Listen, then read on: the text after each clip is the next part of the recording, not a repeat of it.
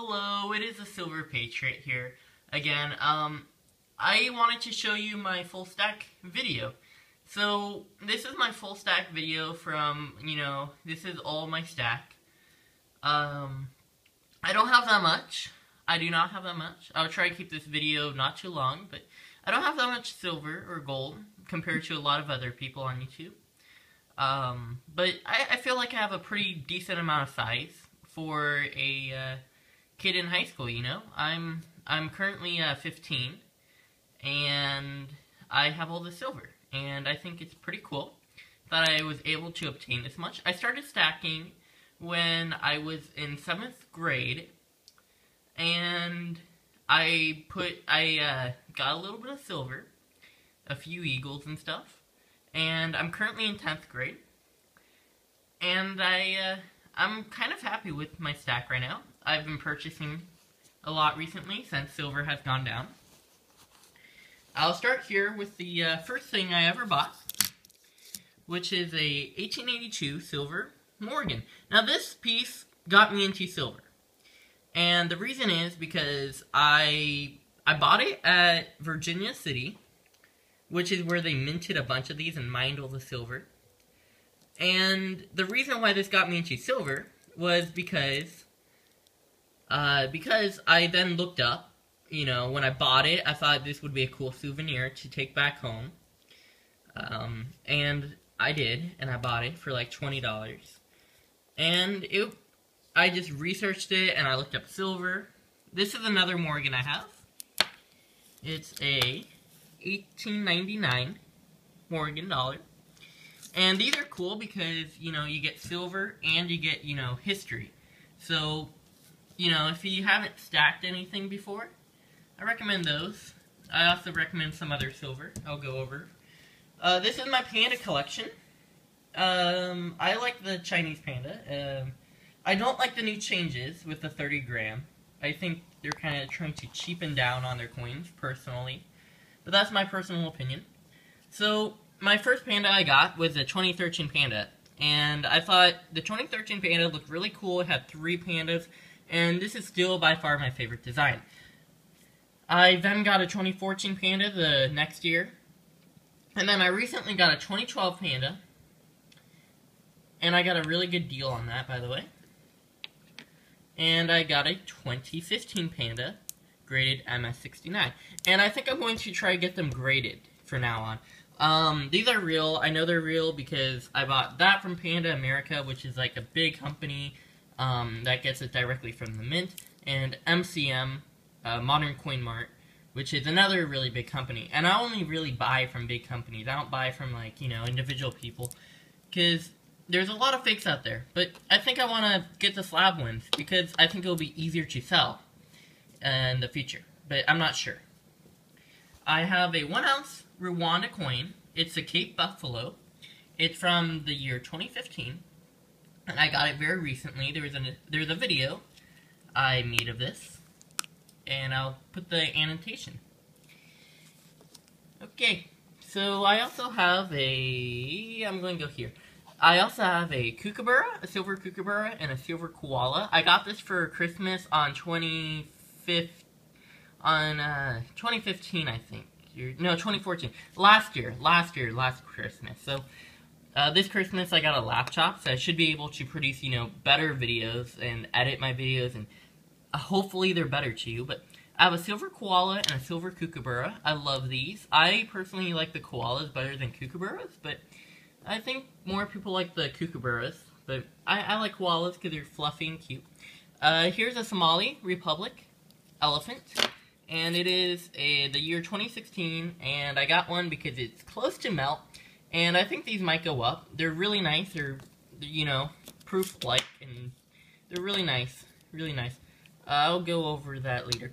Um, I have here a 100 gram Scottsdale bar, and that's pretty nice.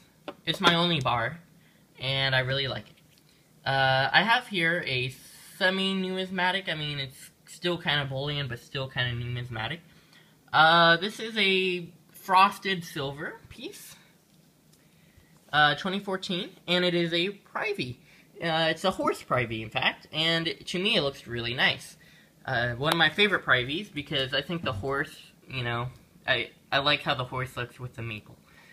Um, here's some Silver Eagles. I have four Silver Eagles and one, you know, just regular 2015 Silver Maple with, you know, the radial lines and all the security features. Uh, here's the back if you don't know what it looks like. So these are what it looks like, and here's what it looks like on the back. These two are 2011, and I got them brand new, but they now have like these black marks on them. I don't know why. Kind of looks almost like ink or something like it. Uh, I don't know if it's like toning or something, but if you guys know what it is, please tell me down in uh, the or the comment section because I have no clue what it is. Uh, these two don't have it, and those two are 2011, and these two uh, that's a 1995 and a 1992, so kind of old. Over here, I have a two ounce privateer round. This is the Silver Siren, and it's very high detailed, very high detailed. And I also have another video on that. I have a Australian Wedge Tail Silver Eagle uh, by the Australian Mint. And that's a fantastic coin. I have about 8 ounces worth of junk silver. Roughly around 8 ounces. They're really, I, I, junk silver is nice to have for, you know, a collection because you can you can throw it around and play with it because it already has scratches and it's really only valued for the silver content. I already looked for like key dates. I don't have any, but yeah, they're really cool. And I got most of this from junk or uh, coin roll hunting. I got most of that from. And over here, these are one of my favorite pieces. And these are marks, 10 marks uh, from, uh, they're silver and they're from Germany. Um, and here's a two mark one. That was jewelry. And it still has the jewelry on it. Um, why do I like these so much? Because I, when I went to Germany, I went to Germany. I live over here in the States, by the way. But when I went to Germany, I found this coin. Uh, it's like this bear. And it's Olympic coin.